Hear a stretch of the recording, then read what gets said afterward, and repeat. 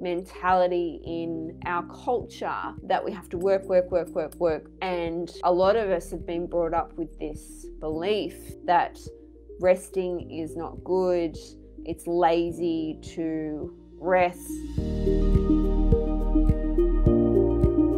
Particularly women, we have this thing around having to constantly show up the same without understanding that our cycle is our hormones and our cycle actually have different requirements. We have different capabilities at different times of the month. We need to honor our body and our cycle, and we're actually going to get more out of our month and more out of ourselves and be more productive if we actually do honor that. And that's what I have found, you know, in the last particularly the last six months, I've been a lot more like honoring when I do need to rest and really becoming conscious of the stories that I'm telling myself.